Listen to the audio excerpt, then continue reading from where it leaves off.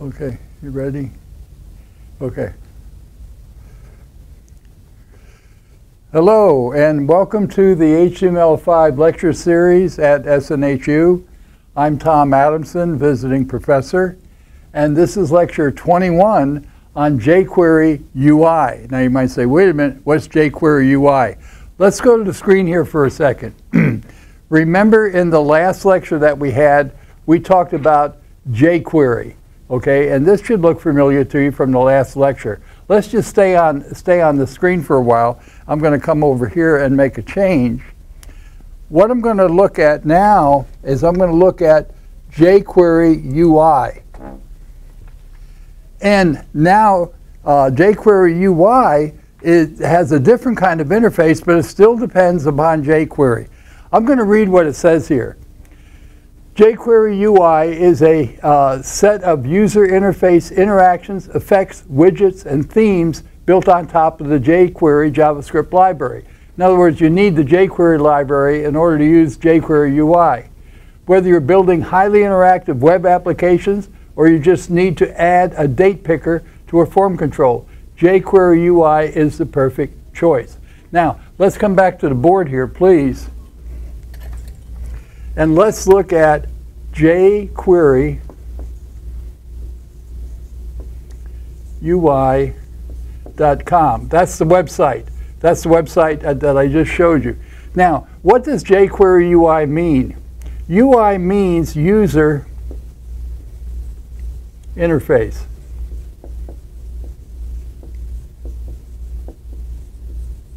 UI, right here. And then the, the user interface, jQuery UI, is really concerned with widgets. And now what is a widget? A widget is a small program that can be used as a feature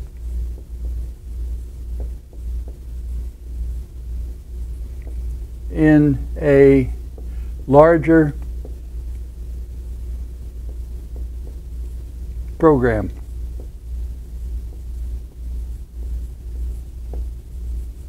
So a widget is a small program that can be used as a feature in a larger program. So what I'd like to do now is come over here to the screen and I'd like to point out some of the things that we see here. We see that we can download jQuery and the latest version, the version we have now at the time of this lecture is 1.10.3. I can do a custom download, I can do a stable download, a legacy download.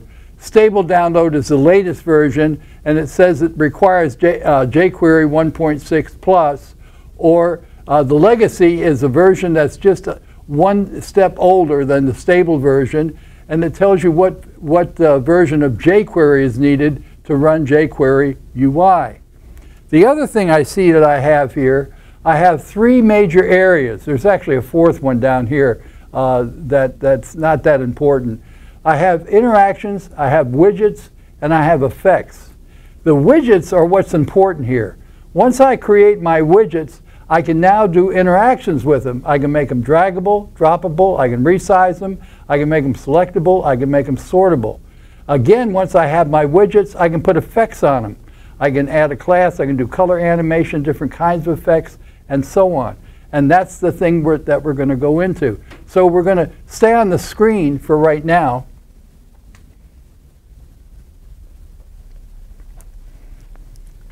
And staying on the screen, I'm going to come to the accordion widget. And when I click on the accordion widget, I see what the accordion widget is. I'm going to try and zoom in here a little bit so you can see it better.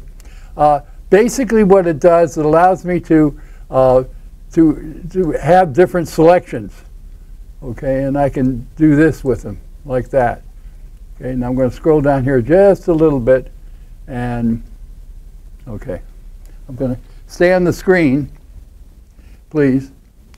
So I see that when I come to a widget, I can see what the widget does. I can come over here on the right and give examples. This is default functionality. These are additions that I can make to the widget, and I'll show you how these additions work. The other thing that I can do is that I can see the source. I just click on this and I copy paste the course and the source and bang, I've got the widget.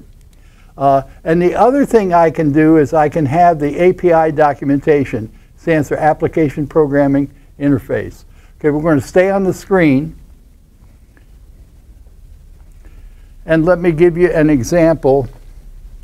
Um, I'm going to make them so that they have custom icons in them. And when I click on that, you can see the icons have changed here. And I can make any kind of icon that I wish from my icon sheet. I can make it so that they're sortable, for example. Like if I want to take this widget here, this section here, I can move it up here and now make it the top section. Or I can make this section right here, bring it down here, and now it's the bottom section. So depending on what, what enhancements I want on this, that's what I use the examples for. So let's go back to default functionality, and now let's go on the view source. Let's view the source code. Now you might say, wow, man, look at that. All right, just a minute, it's not as bad as you think. This part right here, that's the actual uh, jQuery UI script right there. It's function, and look, look what it has. It has an ID uh, selector, accordion, and that's what it does. That's its function is accordion. That's it. That's all you need. If you come down here, here's the ID selector called accordion in the division element, a div element. And if you notice there's H3, which is section 1, and there's another div element and P and closing the paragraph element, closing that division element. There's another section. That's all you need. Uh, and then you got the accordion thing. All this stuff up here is boilerplate stuff. This simply is connecting to cascading style sheets uh, and also to the uh, to jQuery and then jQuery UI. That, uh, and then uh, that's basically it. You've got the title element here. You've got a meta element which says the character set. We haven't talked about that yet. Uh, you have the HTML and it's just saying that the language is English. And then here's your doc type, uh, HTML, which means that it's using uh, HTML5. So let me close the source. Now, if you really want to learn more about these, this particular widget, the accordion widget, what you can do is that you can come to the API documentation. API, Application Programming Interface. I'm going to click on that. And what you see now is all kinds of information uh, uh, on the methods and events and the options and how it's laid out, how the accordion widget is laid out, what you can do with keyboard interaction, uh, what uh, dependency they have, additional notes, how you can modify it, uh, how you can ex extend it, uh, how you can change things in it. This goes on and on and on just for one widget. Every widget in, in, um, in uh, jQuery UI has this detailed API explanation of what you can do with it. I mean, I'll tell you, it's, it's amazing uh, the kind of stuff that, that they have here. Okay, so I'm going to scroll back up. Where am I here? And I'm going to go uh, back here to um, to here. Let's see, let me go back this way. Okay, so I viewed the source, what have you. There's another one too, uh, that's a, um, uh, let's see, here's a button right here. I can have a button, I can have check boxes, I can have a toolbar. There's a really nice toolbar on that. Um, I can have uh, dialogues, a progress bar, a slider. Here's a slider right here. I can have um, a uh, color picker slider if I want. That's built in. And the code, the code for this is very simple, easy to copy and paste, easy to include in my application, um, and so on. So um, what I've got now, let me get back to jQuery here. What I want to do now, staying on the screen, I want to show a roadmap that jQuery has. I'm on the main uh, home page. I'm coming down here to roadmap, and I'm going to open it. And it may be hard for you to see the roadmap. But fundamentally, what the roadmap is, The roadmap tells me what is under development, what kinds of things that the developers of, of jQuery UI are working on. So the whole point of this is, and I need to come back to the board here, please.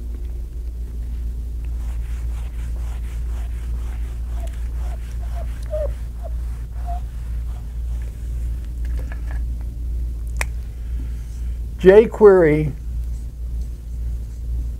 UI, this is always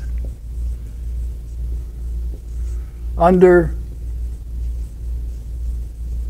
development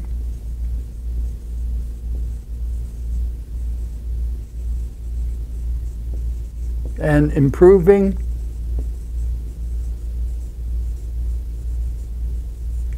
and extending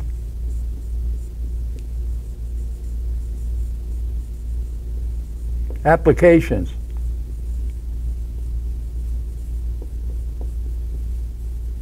In other words, the widgets, what the widgets can do. What's important here is that jQuery, this right here, is not static. What that means generally when you, you download a program or you use a program, that's the way it is. And then two years later, maybe they come out with another version. And then that's the way it is. And then maybe three years later, they come out with another version. That's not true of jQuery UI. jQuery UI is changing on a daily basis. And you can look down through the roadmap and see the new features that they're going to be including inside uh, jQuery UI. So the other thing that you can do is that with this, let's say there's a feature that you want in jQuery UI and it doesn't have it. You can join the discussion area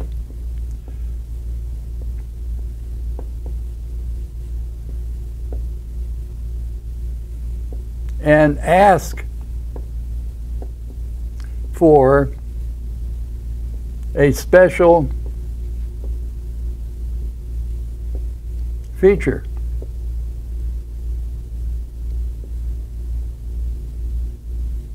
Now, you might say, oh, nobody's going to make a special feature for me. Oh, really? Let's go back to the, to the screen there, please. We'll go back to the screen. And what I want to do now is go back up here to jQuery. And what we're going to look at now is, um, oh, I, was on jQuery. I didn't mean to be on jQuery. I want to be here. Okay.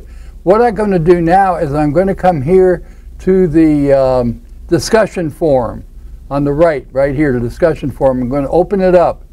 And in the discussion forum, I'm going to come back to the screen now, over here. In the discussion forum, I can, I can sign up for the discussion forum, so I can be part of the discussion forum. Then I have a username and I have a password. Now, you might say, what's the big deal about that? Well, there's 12 different forms getting started using jQuery, using jQuery plugins, uh, using jQuery UI, developing jQuery core, and so on.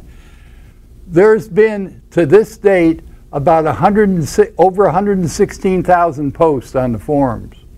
There's been close to a quarter of a million replies.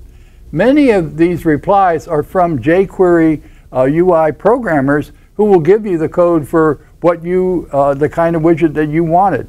Whether or not they include it in their standard library is really up to the group that, that, that sponsors jQuery. So we're going to stay on the board here.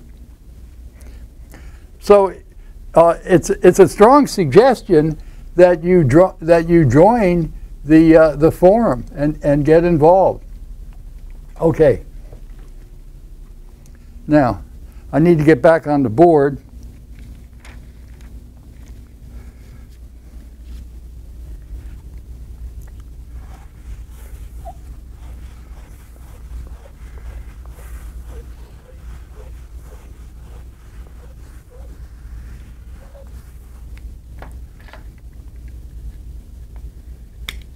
and I see what I have. I have my interactions.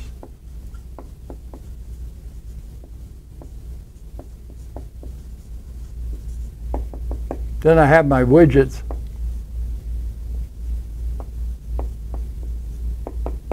Then I have my effects. Then I have my utilities. As we know, we've already defined what widgets are. They're a small piece of code that's used to add some kind of special feature to a larger program. The interactions that we have here are really interactions that are applied to these widgets.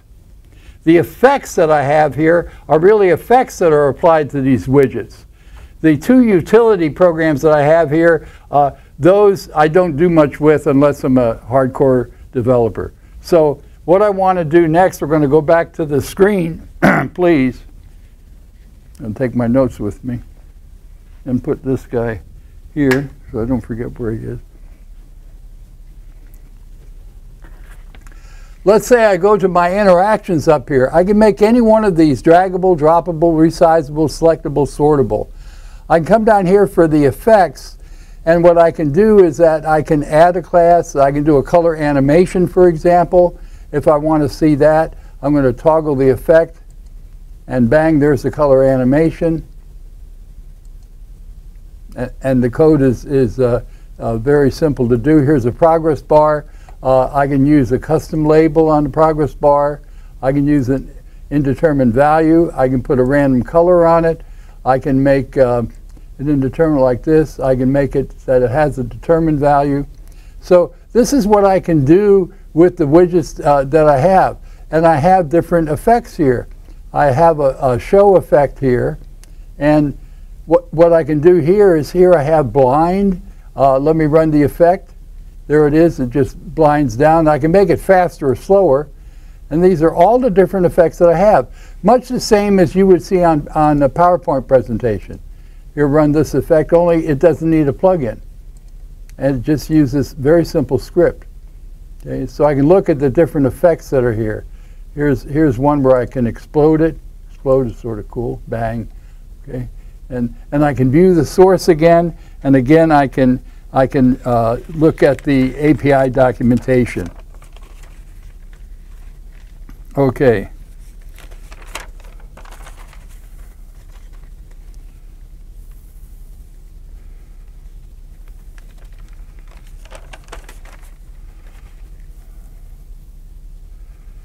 Okay, I got that. I'm just going through my notes here. Now, let's go into customizing uh, a theme. I'm going to go up here on the web page where it says themes, and I'm going to click on themes. And when I do that, I see I get this screen here. And we're going to, we're going to stay on, stay on the screen. Let's say what the themes are for, let's say that I want to use some of these widgets on my website and my website happens to have particular colors and particular fonts and particular styles. And I want the widgets to be in sync with those styles and what have you. Well, what I use is I use a theme roller. I can roll my own, make my own themes, or I can go into a gallery and select a pre-made theme, or I can get help on how I make these themes. If I go into the gallery and make a, a pre-select one, I can then go back to roll my own and then modify that particular one. And I'll show you how to do that. We're going to stay on the, on the screen here for now.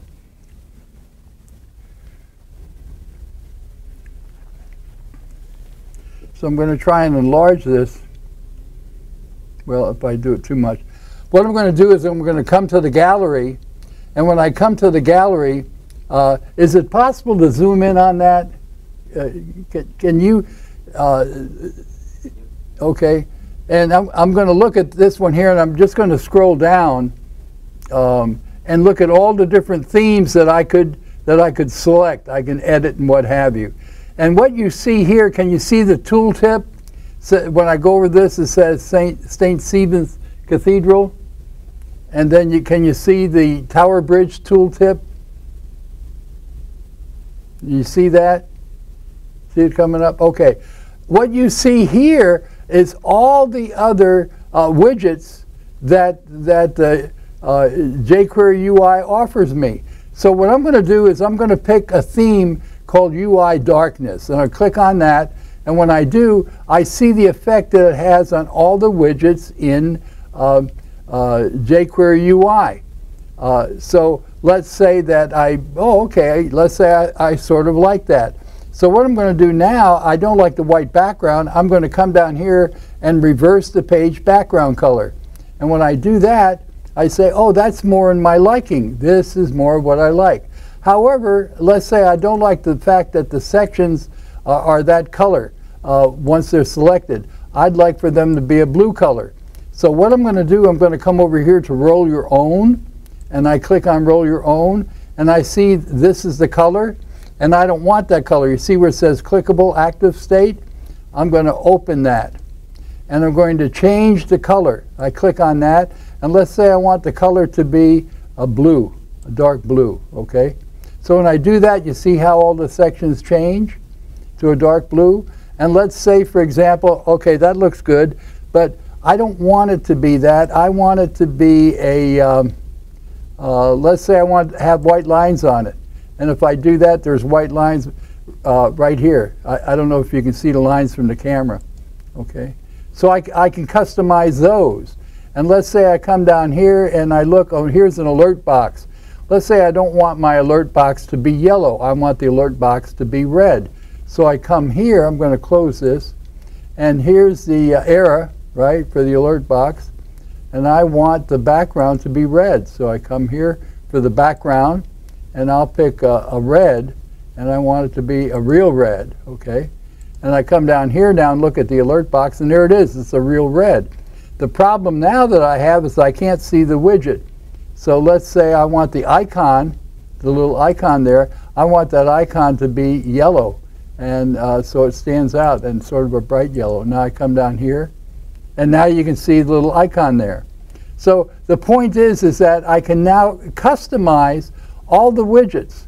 And, and when I finish, when I finish uh, customizing uh, all the widgets, then what I can do is I can download the theme. You see over here on the left where my where my mouse is going over where I download this theme. So if I click on this, here's what I get. All right, and I'll show you. Uh, let me just do this and I'll come over to the screen. Up here at the top, I can just download the stable version or the legacy version. That's it. It doesn't take my theme or anything. I just download it and I got it and I'm out of here. Uh, so if I'm going to download the stable one, uh, I need to have jQuery uh, uh, 1.6 or above in order for this version, which is 1.10.3 to work. Now, I can select what components I want. Remember we talked about the UI core? Well, we want to leave those there.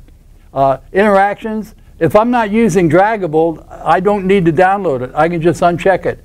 If I'm not going to be using resizable, the same thing. So I'm going to stay on the screen here and scroll down and see all the different uh, widgets and all the different interactions uh, that I'm not using. Uh, I don't have to trouble myself with downloading them. Uh, if I if I want to download them because I'm not sure whether I'm not going to use it, I can do that as well.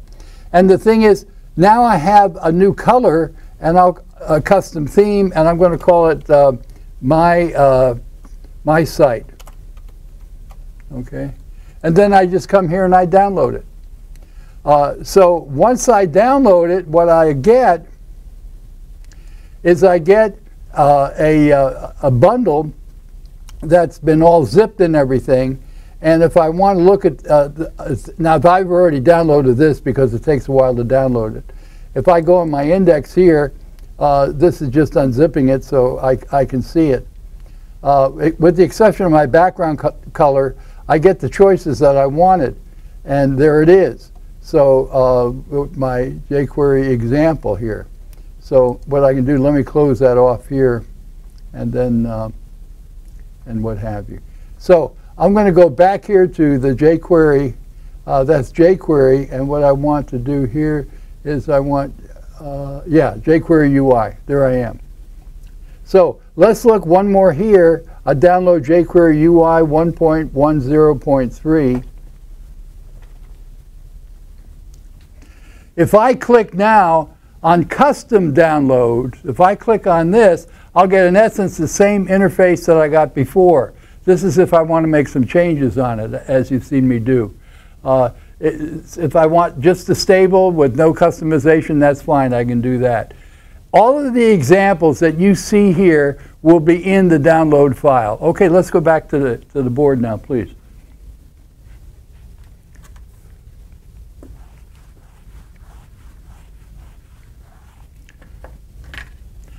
Okay, so what we talked about was jQuery UI for, for uh, user interface, and the website that we went to was jQuery.com. The nice thing about jQuery is that it's free, and that the only thing I need to, to use it is a simple text editor. The other nice thing about it is that it's being constantly